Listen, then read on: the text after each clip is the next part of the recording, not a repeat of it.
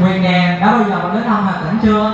À mình chưa may mắn được đến đó nhưng mình nghe nói đó là quê hương của tụ Nguyễn Dương đúng không nè? Đúng rồi đó Quyền Mảnh đất Hà Tĩnh nằm giữa ba dãy núi lớn Trường Sơn, Hồng Lĩnh và Hoành Sơn. Phía đông giáp biển, phía bắc giáp sông Lam là một mảnh đất nhỏ bé của Bắc Trung Bộ. Đây là vùng mưa thối đất, nắng đỏ trời, quanh năm bão lụt với gió Lào. Nhưng con người nơi đây lại cứng cỏi, kiên cường, chân thật, đầy tình nhân ái Thiết tha yêu quê hương và luôn sống yêu đời Với các làn điệu dân ca trữ tình mang âm hưởng mượt mà của các câu hò hiệu lý đặc biệt là người hà tĩnh đẹp xinh như tranh vẽ tóc dài buông em khẽ dạ thương mà nghe ngọt lệ những chàng trai xứ bắc như trời trồng khi chợt ghé ngang qua Hà Tĩnh đẹp, phải không các bạn? Vậy mình hãy theo chân bạn Ánh Nguyệt lớp 12A 16 đến thăm đốc và người nơi đây qua bài hát về Hà Tĩnh người ơi.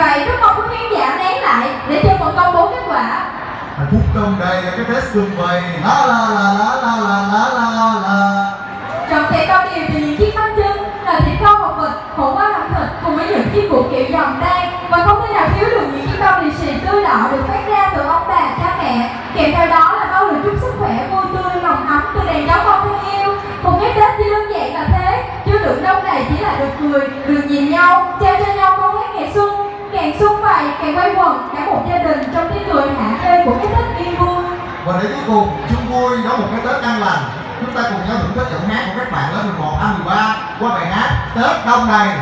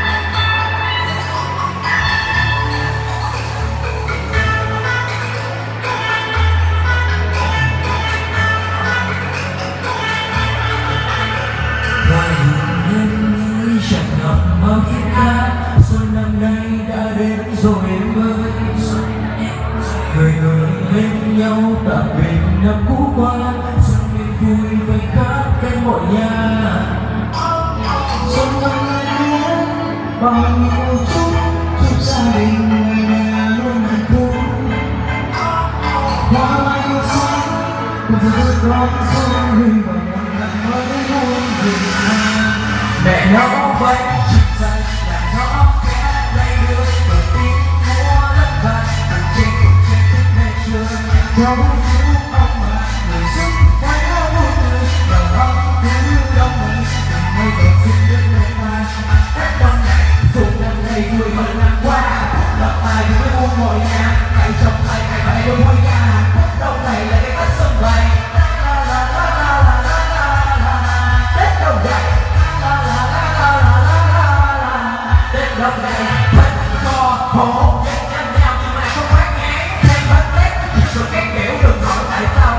quá đáng à chúng ta phải thân lại đứng lên cầu từng sao mà nghe lên nhạc quẩy trên tuần của nam đã qua rồi mới anh em chúng ta lại nghe không còn sao sao mình quên luôn hạnh phúc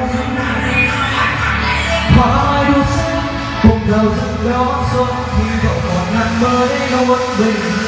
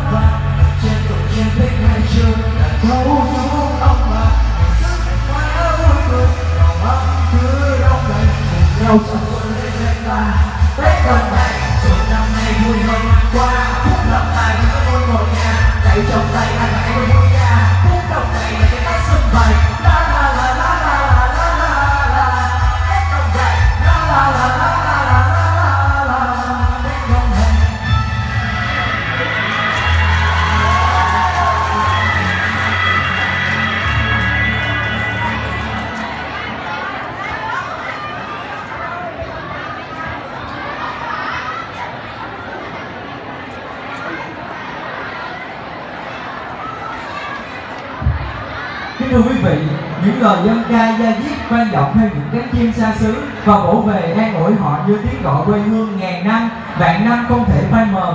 Có khi xa rời nơi chôn giao các rốn, người ta mới thấm thấy hơn tiếng nói từ đồng bào ấy. Cảnh vật nó khô như những về rõ nét, không gian và thời gian như nhập vào là một, nỗi niềm nhớ quê, quê hương của cán đông, trời lúa lắm lúc hóng cáo thành nỗi niềm thân quen và dung dĩ biết bao, thể hiện của lớp 12 a vui, Hoa hơn chất lượng và đều nhạc ngay chơi Chúng ta hãy cùng nhau theo dõi.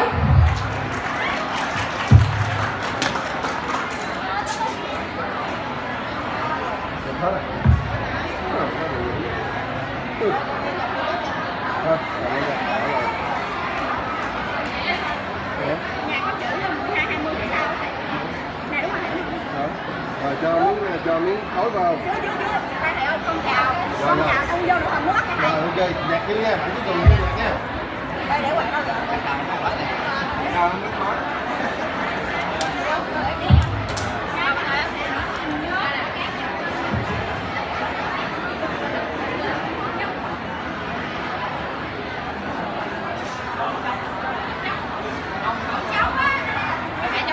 mình hỏi giờ cao miếng khói nhạc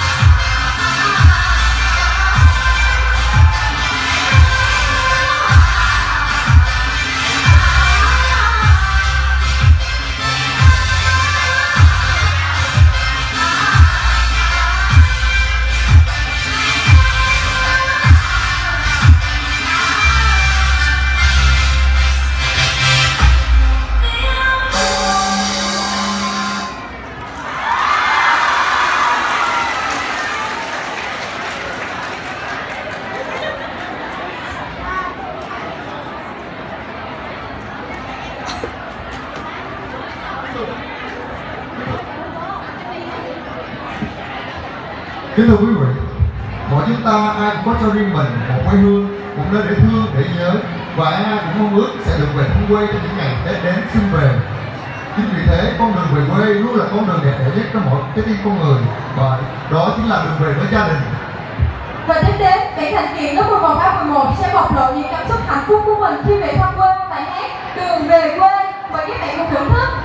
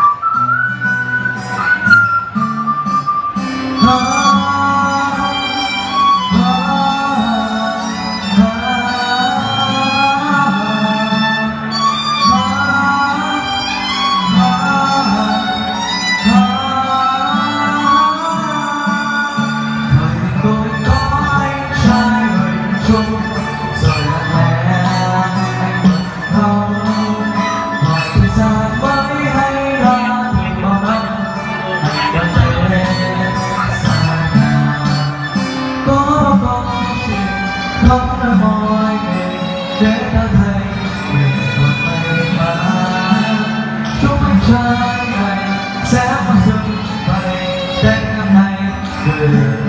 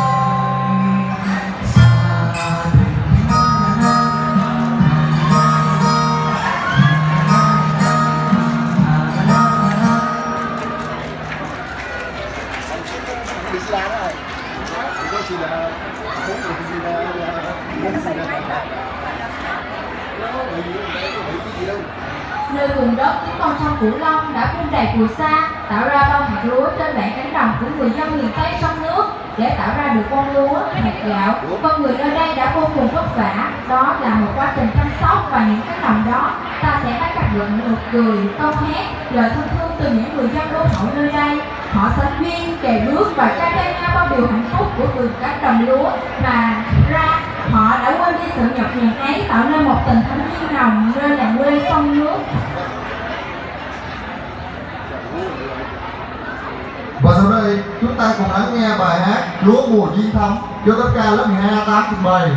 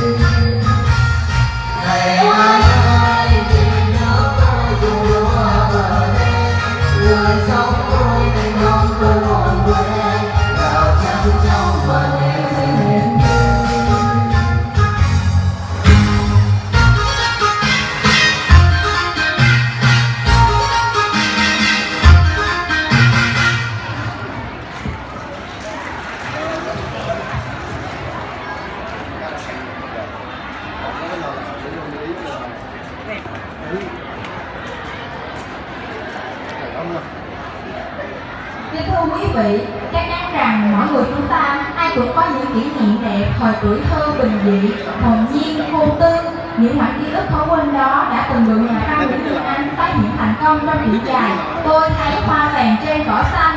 Cũng chính ký ức này khiến nhạc sĩ Châu Đăng Khoa không khỏi bồi hồi, thổn thức khi nhớ về những ngày tháng tuổi thơ tươi đẹp, nên anh đã sáng tác ca khúc cùng tên.